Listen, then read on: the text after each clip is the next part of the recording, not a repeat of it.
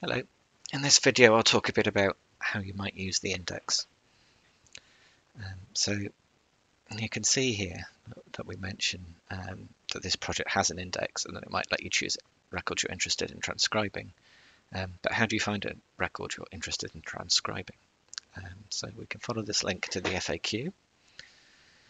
Uh, and there are a few entries here about uh, the index and choosing records and things like that. Um, the one I'm taking you to right now is how to see the minute book indexes. So the minute books that we are working from all have their own indexes and we can look in those to find things we are interested in. So I'm just going to click on this one. This brings me to the National Archives catalogue and I can press this here um, and that will load up the index for me. And then I can just leaf through it and look for things I might be interested in.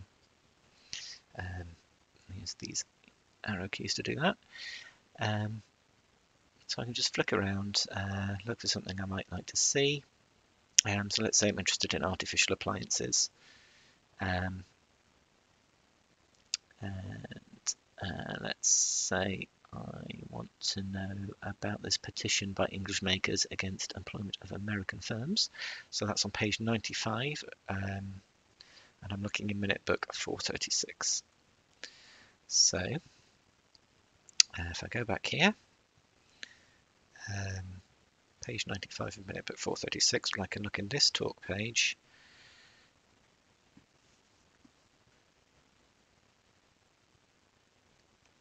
Uh, I can find minute book 436. Page 95 is in this range here, so it's in 1916 Q2. So now I can just go into the meetings workflow and I can find 1916 Q2.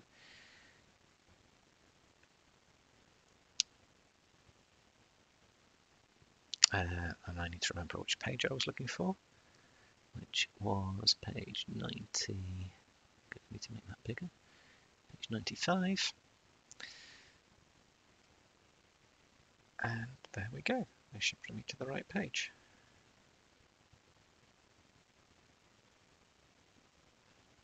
And there's the petition.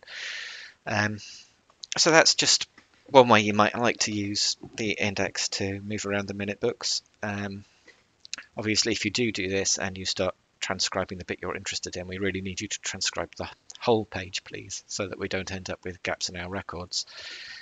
Um, there are other reasons to jump around in the index. Um, you might be following a page reference or a mention of a meeting on a particular date. You might want to follow the thread of what was being talked about to another meeting or another page.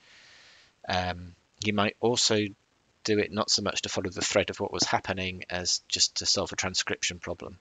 Um, so if you see a word and you can't quite read it, but you can see that the same thing was discussed somewhere else, you can go and look at the other discussion and it might be that the word is easier to read there or that the context makes it easier to work out what it says.